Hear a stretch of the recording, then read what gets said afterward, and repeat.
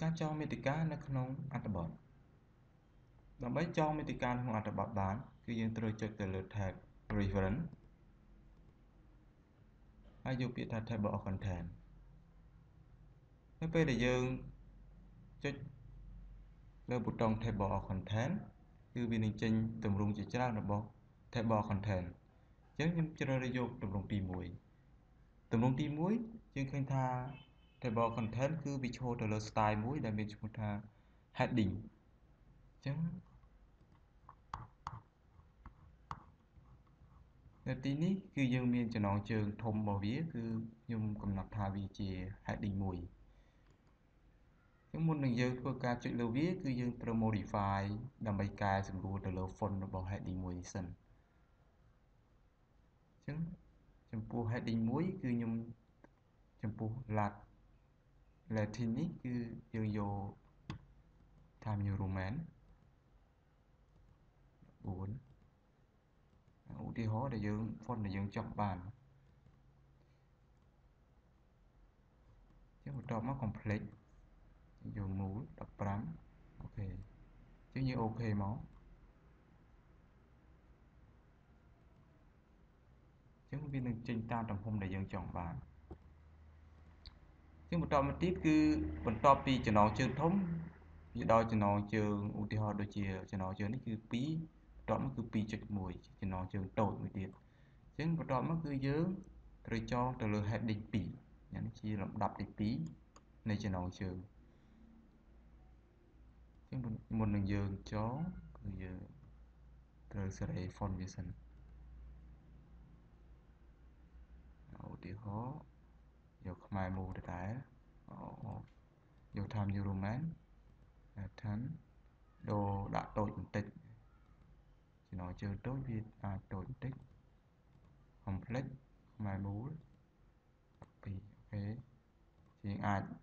ដាក់ខ្មៅក៏បានឬក៏ដាក់ពណ៌ក៏បានដែរតាមតែយើងចង់បាន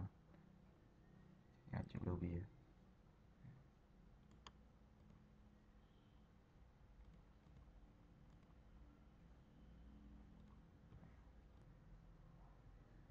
ចឹងយើងធ្វើការកំណត់បន្ទាប់ទៀតគឺកយើងដាក់តែ heading 3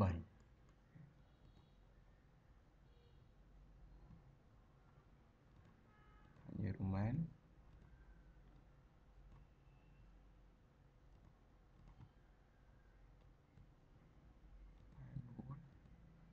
អាចយក font តូចជាងមុនតិចទៀតដោយសារវាជាចំណងជើងតូច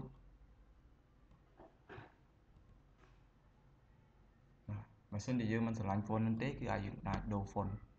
ផ្សេងបានណាអញ្ចឹងខ្ញុំធ្វើការកំណត់ heading 1 heading 2 heading 3ឲ្យវាស្គាល់ទៅតាមលំដាប់នៃចំណងជើងរបស់យើងវាមានតូចវាមានធំអញ្ចឹងទៅ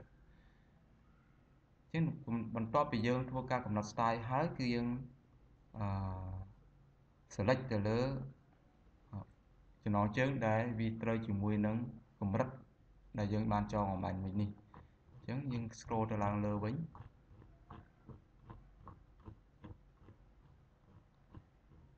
ចឹងអ្វីដែលយើងចង់បាននៅនៅលើមេតិការបស់យើងគឺឧទាហរណ៍នេះគឺយើងត្រូវដាក់ទៅលើមេតិការបស់យើងដែរអញ្ចឹងអានេះគឺចំណងជើងធំខ្ញុំឲ្យកម្រិតវាជា heading 1អានេះក៏ជា ចំណងជើងធំដែរខ្ញុំឲ្យកម្រិតវាជា heading 1ហើយដោយសារតែ heading 1យើងគិតថាវាអាចនៅកណ្ដាលចឹងយើងអាចធ្វើការកំណត់វាម្ដងទៀតហើយឲ្យវានៅកណ្ដាលចឹងវានឹងអូតូខ្លួនឯងនៅកណ្ដាលទាវភាព heading 1 heading 1ដែរចឹង យើង select មកទាំងអស់មក heading 1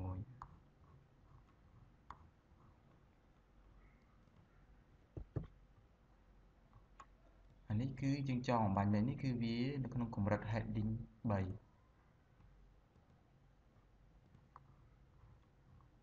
អានេះក៏ heading 3ដែរ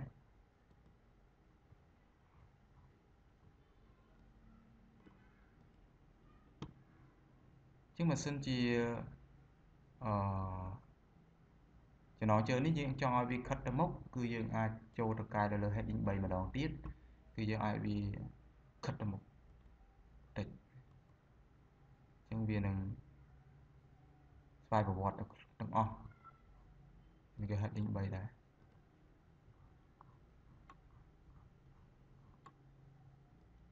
ចឹង2.2នេះគឺឲ្យ វាជា heading 2នេះ heading 1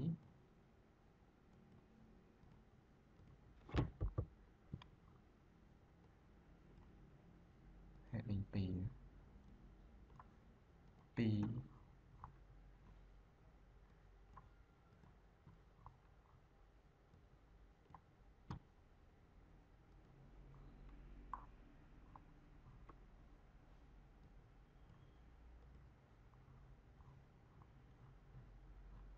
បើសិនជាមានតទៅទៀតយើងអាចចុចទៅទៀត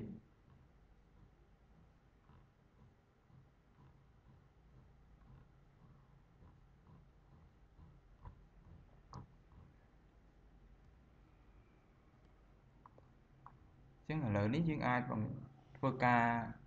បង្កើតមាតិកាបានអញ្ចឹងយើងជ្រើសកន្លែងមួយហើយនេះគឺមាតិកា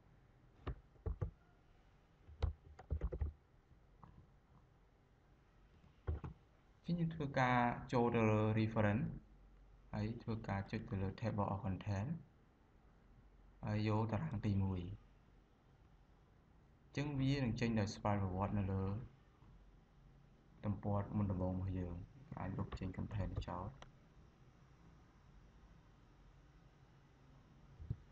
ចឹងបន្ទាប់ពីយើងបង្កើត content ហើយគឺអ្វីដែលយើងត្រូវធ្វើការកែសម្រួលគឺនៅលើតារាង content នេះហោយើង អាចលុបលេខនេះចោលដោយសារវានៅក្នុងតែតែមួយដែរជាងធ្វើការកែទៅលើ font ដែលយើងចង់កែដាក់ font នេះក៏បានដែរនៅលើនោះ